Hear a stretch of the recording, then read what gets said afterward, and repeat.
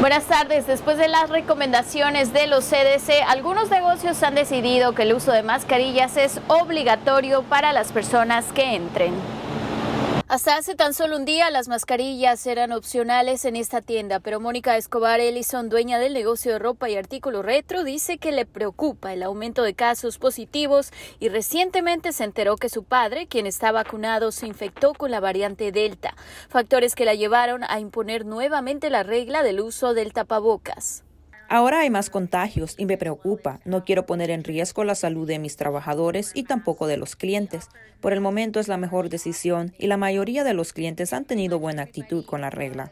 Por el momento no hay un mandato del uso obligatorio de mascarillas en Texas, pero los expertos de salud dicen que no es el momento de bajar la guardia, ya que la pandemia no ha terminado y dicen que las guías del uso de mascarilla continuarán cambiando debido a las variantes y el bajo índice de vacunaciones. Y cabe recalcar que según expertos, la gente vacunada tiene más del 90% de protección, sin embargo, todavía pueden contagiar. Es por eso que recomiendan el uso del tapabocas.